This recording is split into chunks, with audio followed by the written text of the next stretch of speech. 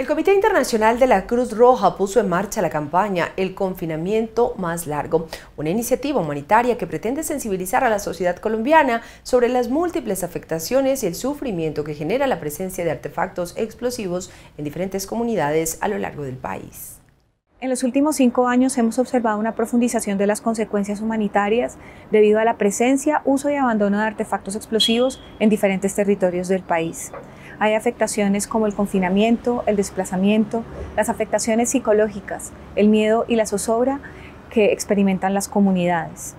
Existen comunidades que no pueden transitar libremente por sus territorios, no pueden cazar, no pueden pescar y no pueden acceder a sus cultivos. Hay niños y niñas que no pueden ir a la escuela por la presencia de artefactos explosivos. Esta realidad pasa desapercibida para la gran parte de la población en Colombia.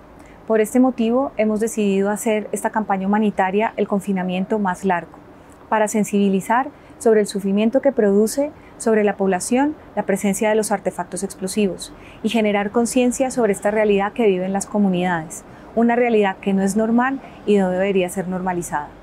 Entre enero de 2018 y agosto del 2022, el CICR ha registrado 1.938 víctimas de artefactos explosivos, correspondiendo la mayoría de ellas a civiles. En Nariño se cuantifican solo este año 23 víctimas según el organismo internacional.